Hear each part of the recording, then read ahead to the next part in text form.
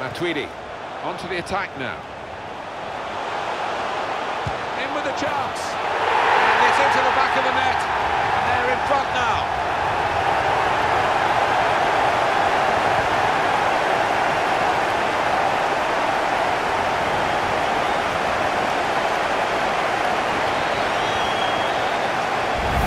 Looked the goalkeeper in the eyes and said, right, I've got the win here, and he's got the goal to show that.